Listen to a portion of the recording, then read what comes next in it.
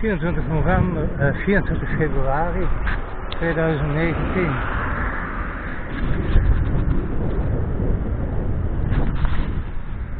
Weg met de D-Twin